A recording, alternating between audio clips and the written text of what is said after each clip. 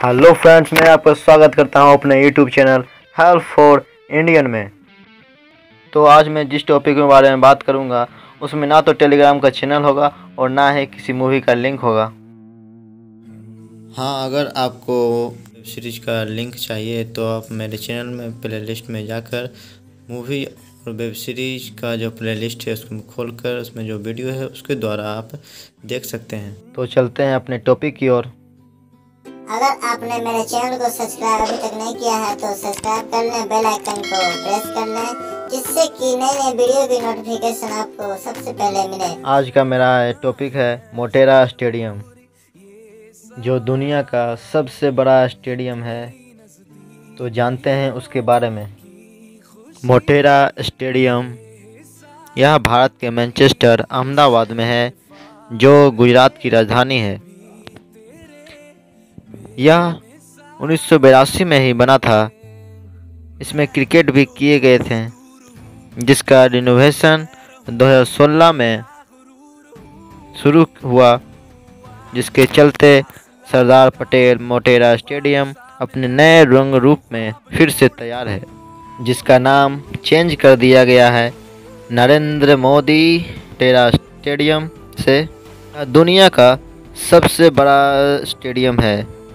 जानते हैं, इस स्टेडियम के कुछ खास बातें, जो इस स्टेडियम, बाकी स्टेडियमों से अलग व धाकड़ बनाती है।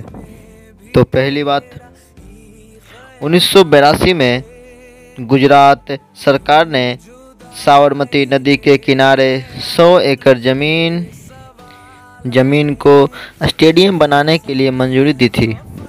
मंजूरी मिलने के महज नौ महीने में ही स्टेडियम लहलहाता हुआ बनकर खड़ा हो गया और उसका नाम सरदार पटेल स्टेडियम रखा गया।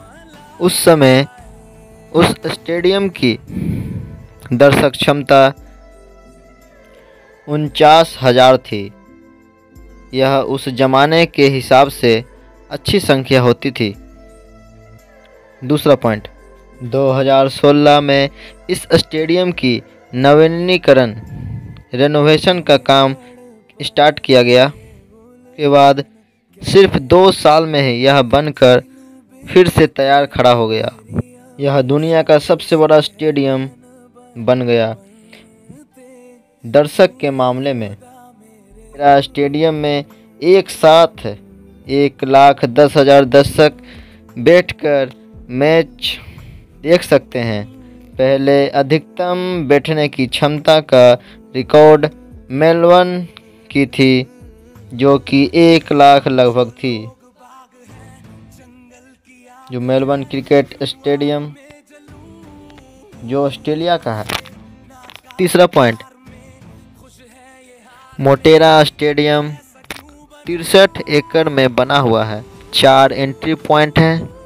Room, multiple dressing room, indoor practice pitch भी हैं डोमेट्री भी हैं। इसमें एक बार में 40 से 50 एथलेटिक रुक सकते हैं। चौथी बात, ज़्यादातर स्टेडियम में फ्लड लाइट दिखती हैं, लेकिन मोटेरा स्टेडियम में फ्लड लाइट की जगह में हाई पावर एलईडी लाइट का इस्तेमाल किया गया है। पांचवी बात पीआईबी की रिपोर्ट में बताया जा रहे हैं कि मोटेरा में 32 फुटबॉल फ़ील्ड समा सकते हैं।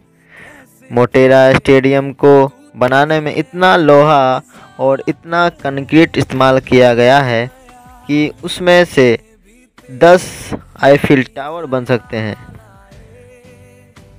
अगली बात, मोटेरा का कॉन्सेप्ट तैयार किया गया है। मशहूर मल्टीप्लेक्स आर्किटेक्चर कंपनी पॉपुलस ने यह दुनिया भर में काम कर चुकी है। इसमें ऑस्ट्रेलिया का मेलबर्न क्रिकेट स्टेडियम भी शामिल है। अगला पॉइंट, यह दुनिया का एकलौता स्टेडियम है, जहाँ मेन पिच और प्रैक्टिस पिच एक ही मिट्टी से बना हुआ है। और दावा किया जा रहा है कि मैच के बीच में अगर बारिश आ जाते हैं तो रायता नहीं फैलेगा। स्टेडियम का ऐसा ड्रेनिंग सिस्टम है, जिसमें महज 30 मिनट में ही ग्राउंड का सारा पानी खींचकर बाहर निकाल दिया जाएगा। अगर आपको मेरी ये वीडियो अच्छी लगे तो इसको लाइक करें, शेयर करें और मेरे चैनल को सब्सक्राइब करें। मिलता हूँ मैं अपने नेक्स्ट वीडियो में। तब तक के लिए थैंक यू।